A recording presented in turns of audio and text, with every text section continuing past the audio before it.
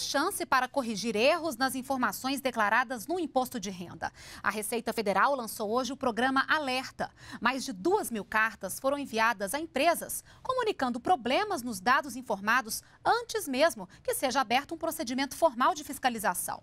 São empresas do setor de bebidas, fornecedores do governo federal e entidades de assistência social que se declararam isentas, mas não apresentaram o certificado. Todos os detalhes estão na página da Receita na internet.